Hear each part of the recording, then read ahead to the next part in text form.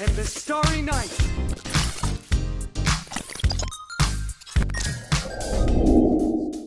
Oke, meta di Mobile Legends sekarang ini kan biasanya isinya itu komposisi timnya adalah jungler yaitu bisa marksman atau assassin, terus dua side lane biasanya bisa diisi marksman, fighter, bisa juga assassin. Dan bahkan kadang juga pakai mage.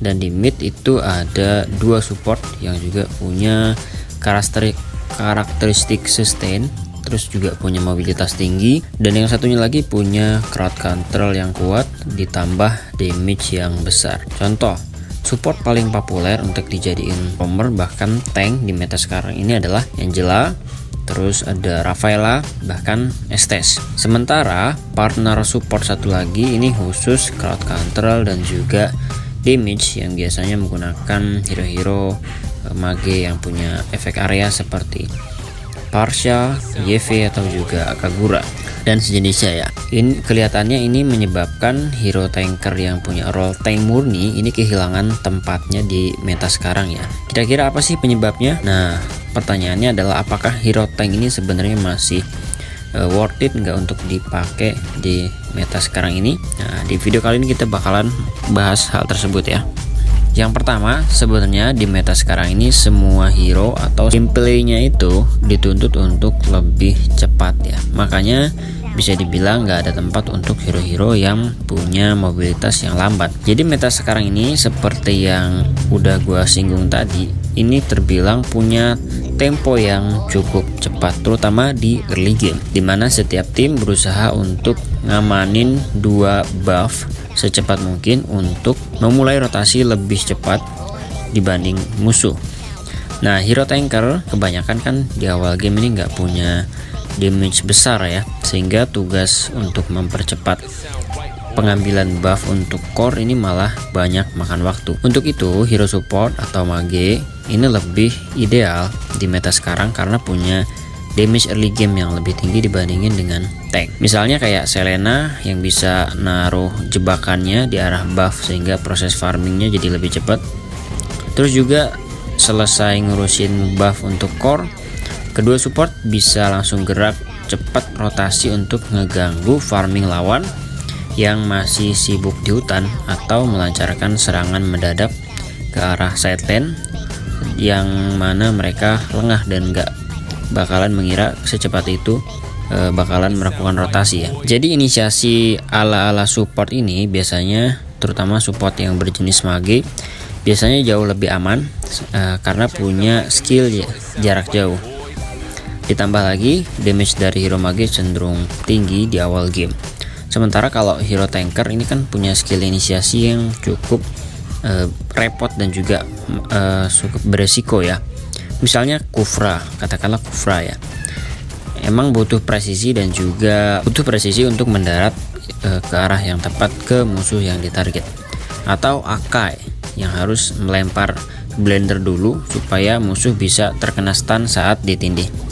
Nah aksi kayak gini kan emang cenderung ribet untuk meta sekarang dan cenderung lebih beresiko ya. Makanya mungkin banyak player yang sekarang terutama di tier-tier tinggi lebih lebih suka pakai meta dua support dibandingin dengan pakai support dan tank itu yang pertama. Yang kedua ini ada di team fight. Sebenarnya dengan dua support sekarang ini peluang menang itu lebih besar di team fight karena mereka punya damage yang lebih besar. Jadi dengan adanya dua support yang satu bertipe sustain yang jadi tank ya dalam tanda kutip dan satunya berdamage besar maka meta sekarang ini berfokus ke team fight yang yang tim fightnya itu cepat dan juga singkat gitu ya. Nah artinya setiap tim ini pengen terus melakukan tim fight untuk memegang kendali permainan dan juga momentum. Caranya adalah punya damage yang lebih besar saat tim fight. Hero kayak Parsha dan juga YV ini adalah primadona mage mid lane di meta sekarang ini. Atau juga Vale ya.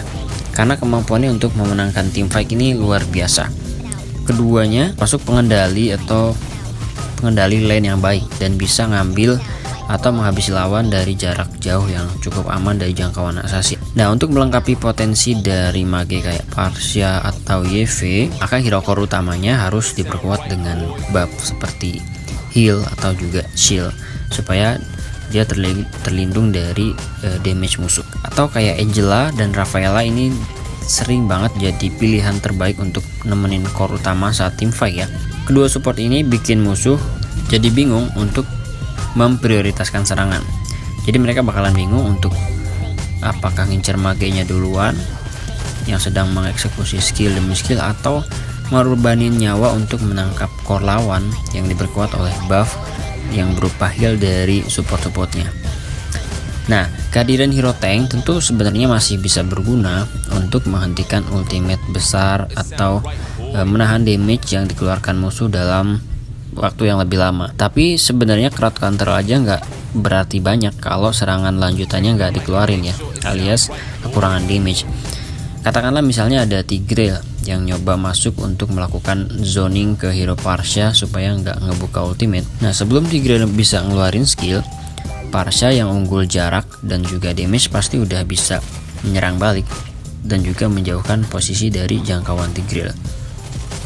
Sisanya ya tinggal menghabisinya dari jarak yang aman. Makanya bakalan lebih efektif untuk mengcounter Parsha dengan support mage lain, misalnya kayak Selena tanpa perlu terlalu dekat dalam radius uh, skill ultimate Parsha Selena bisa nebak posisi Parsha dan melempar lelenya ke arah Selena, Parshanya walaupun Parsha berhasil mengelak ya minimal dia menghentikan serangan dari ultimate Parshanya Nah kalau mau pakai tank di meta sekarang ini sebenarnya harus punya gameplay yang berbeda. Ini yang ketiga. Di tanker ini nggak bisa lagi untuk melakukan tugas yang sama kayak meta-meta sebelumnya cuma sekedar melancarkan inisiasi terus ngasih CC kepada lawan dan tugas selesai ya kalau sebelumnya. Nah dengan kekurangan yang dimiliki tanker sekarang ini mereka harus lebih gesit dan juga aktif supaya jadi uh, lebih efektif dengan meta sekarang. Jadi nggak semua tanker uh, kurang efektif ya sekarang ini. Masih ada beberapa hero tank yang bisa kalian andalkan di meta yang cepat ini. Baxia contohnya ini terbukti masih dipakai terutama untuk side lane melawan hero fighter dengan regen yang tinggi. Jahwet juga masih cukup disegani karena skill setnya yang bisa mengganggu farming lawan terus juga melakukan solo kill ke hero core musuh meskipun menggunakan item uh, tanker. Hero lainnya kayak Atlas terus Beleric ini sebenarnya masih bisa jadi kunci kemenangan saat team fight. Apalagi ngelawan hero core berjenis marksman ya jadi hero tank murni ini punya keterbatasan untuk meta sekarang. Menahan damage musuh dianggap kurang ideal karena lebih baik ngasih damage yang lebih tinggi ke musuh. Gitulah kurang lebih. Soalnya saat core udah selesai farming tanker biasanya dalam kondisi yang cukup tertinggal secara item dan juga level sehingga ketahanan mereka nggak ada harganya di hadapan para hero core yang udah full item. Nah kurang lebih gitu ya teman-teman. Apakah menurut kalian kenapa sih hero tanker sekarang jarang dipakai di meta sekarang? Dan apakah hero tanker masih efektif? Uh, silahkan tulis pendapat kalian di kolom komentar ya. Terima kasih yang sudah nonton videonya sampai akhir dan sampai jumpa di video-video berikutnya